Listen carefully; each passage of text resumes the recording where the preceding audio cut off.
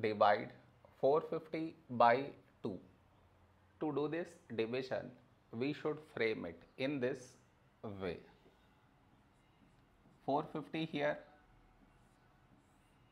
2 here. This is your step 1. Next.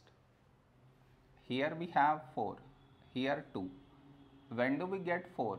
In 2 table. 2 2's 4.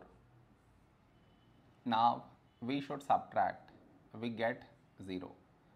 After this, bring down the beside number. So 5 down.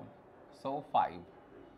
A number close to 5 in 2 table is 2 2's 4. Now we subtract. We get 1. After this, bring down the beside number.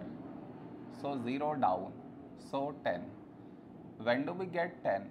In 2 table. 2 5's 10. Now we subtract. We get 0. No more numbers to bring it down. So we stop here. This is our remainder. This is our quotient.